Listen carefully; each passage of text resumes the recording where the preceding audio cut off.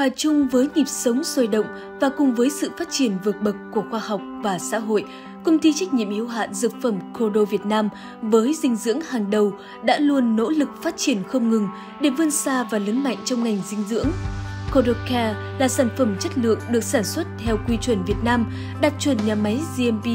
Kodocare cho ra mắt những dòng sản phẩm phù hợp với từng đối tượng, độ tuổi và thể trạng khác nhau có thể kể đến như Kodocare Baby, Kodocare Diabetes, Kodocare Pedia, Kodocare Grow, Kodocare Weight and Kodocare Sure với định hướng đưa ra các sản phẩm có hàm lượng dinh dưỡng cao nhất và đầy đủ nhất cho người tiêu dùng Việt Nam. Cái sản phẩm mà Kodocare thì đây là một cái sản phẩm mà dành cho trẻ em từ 1 đến 10 tuổi. À, theo nhà sản xuất công bố cái công thức trên bao bì và cũng như là à, cái giới thiệu sản phẩm của nhà sản xuất. Thì tôi cho rằng đây là một cái sản phẩm khá là tốt. Công thức thì rất là đầy đủ các cái ờ, thành phần mà có cái tác dụng hay là trẻ từ 1 đến 10 tuổi nó có cái nhu cầu. Đó là những cái thành phần rất là thiết yếu.